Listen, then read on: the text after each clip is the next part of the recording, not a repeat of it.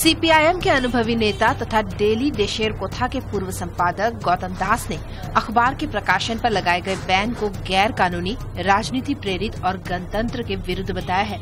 अखबार पर बैन लगाए जाने से इससे जुड़े 200 से अधिक कर्मचारियों को आजीविका के क्षेत्र में परेशानी झेलनी पड़ रही है। मीडिया से बातचीत में दास ने कहा कि 60 से 70 के दशक में सीपीआईएम का साप्ताहिक समाचार पत्र था देशेर को था। लेकिन बाद में इसे दैनिक समाचार पत्र में तब्दील कर साल उन्नीस सौ उनासी में इसका नाम रखा गया डेली देशेर को था।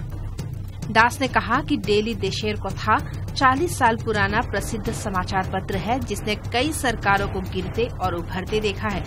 15 अगस्त सन उन्नीस सौ उनासी में यह पहली बार प्रकाशित हुई थी।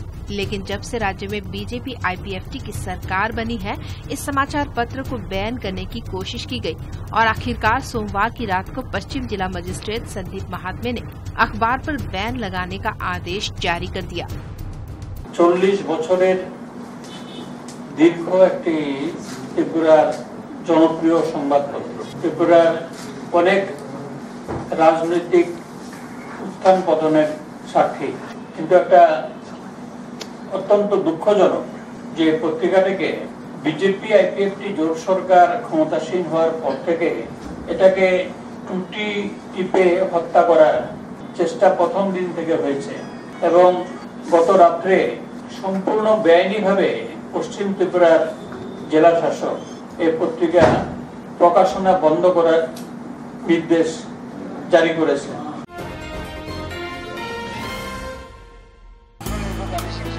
मणिपुर को देश का तेईसवा खुले में शौच से मुक्त राज्य घोषित किया गया है। कल राष्ट्रपिता महात्मा गांधी की डेढ़ सौवीं जयंती के मौके पर मणिपुर की राज्यपाल डॉक्टर नजमा हैप्तुल्ला ने मणिपुर सरकार को बधाई देते हुए प्रदेश के मुख्यमंत्री एन बीरेन्द्र सिंह को खुले में शौच मुक्त प्रमाण पत्र प्रदान किया।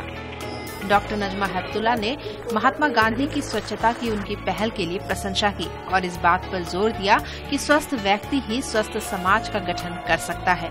कार्यक्रम में मुख्यमंत्री बीरेन्द्र सिंह ने कहा कि हाल ही में गूगल टॉयलेट लोकेटर लॉन्च किया गया है, जिससे कि लोग अपने मोबाइल फ़ोन पर समीपवर्ती पब्लिक टॉयलेट का पता लगा सकते हैं। राज्यपाल, मुख्यमंत्री, कैबिनेट मंत्रियों और अन्य विधायकों ने भी कल राष्ट्रपिता महात्मा गांधी की मूर्ति पर माल्यार्पण किया। I'm full of pride in the declaration of ODF Manipur and handing of the certificate to Honorable Chief Minister. I congratulate the Swachhata Grahis and the Village Water and Sanitation Committees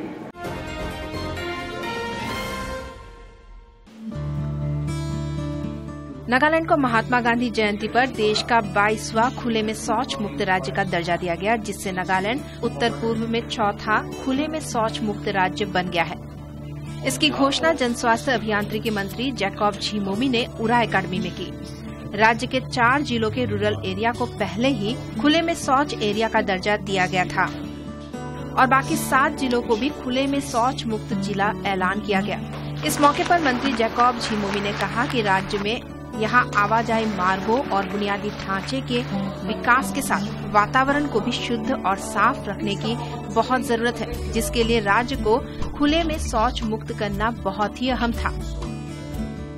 Government particularly we have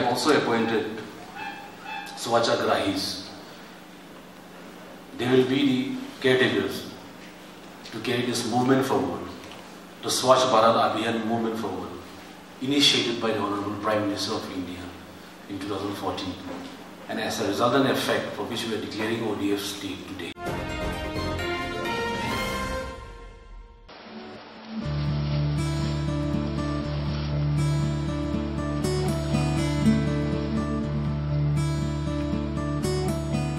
इरादे अगर मज़बूत हो तो जीवन की कोई भी बाधा मनुष्य को उसके लक्ष्य तक पहुँचने से नहीं रोक सकती।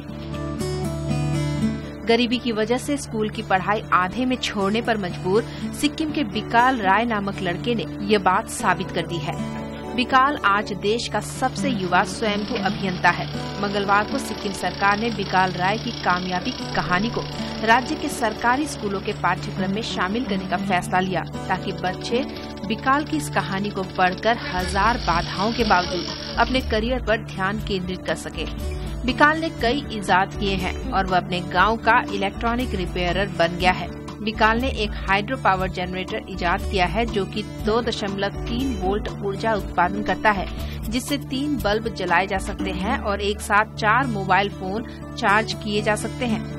उसने सिरिंज ड्रिप पाइप प्लास्टिक और टायर के इस्तेमाल से दो उत्खनक मॉडल डिज़ाइन किए हैं, जिसमें लाइट पावर स्टेयरिंग और एफएम स्टेशन भी इंस्टॉल है। लेकिन बिकाल को साल 2015 में बनाई गई semi eco friendly electronic car ने प्रसिद्धि दिलाई है। बिकाल की इलेक्ट्रॉनिक कार में दो अलग अलग इंजन है, एक इंटरनल कम्बशन इंजन और दूसरा सेकेंडरी इंजन यूनिट जो कि बैकअप के लिए है। इस कार की अधिकतम रफ्तार 60 किलोमीटर प्रति घंटा है। बिकाल के आविष्कारों से खुश होकर प्रदेश के मुख्यमंत्री पवन चामलिंग ने बिकाल की आगे की पढ़ाई के लिए उसकी आर्थिक मदद करने की घोषणा की, जिसके बाद बिकाल ने पूर्वी सिक्किम के बरडांग स्थित एडवांस टेक्निकल ट्रेनिंग सेंटर में दाखिला ले लिया। आपके दिमाग में कैसे आया कि एक ऐसा गाड़ी बनाए? आप एक सेल्फ मेड इंजीनियर बने, आपके दिमाग में कैसे आया? Before I met this car मैंने बहुत चीज़ बनाया था, लेकिन मुझको फर्दर स्टडी करना था अपॉर्चुनिटी चाहिए था। पहली बार बहुत अपॉर्चुनिटी मिला था, लेकिन due to some problem problem से, होने से नहीं कर सका वो अपॉर्चुनिटी तो मुझको वही अपॉर्चुनिटी चाहिए था, और घर में था, पढ़ाई भी नहीं करता था। और मैंने डिसीज़न किया I will try one was in my life so जैसा भी एक बार ट्राई करेंगे चांस मिला तो ठीक है, नहीं मिला तो जॉब करेंगे। वो सोच के बनाया और इधर का स्टेट गवर्नमेंट ने अपॉर्चुनिटी दिया। अभी मैं एटीटीसी में मैकेनिकल पढ़ रहा हूँ।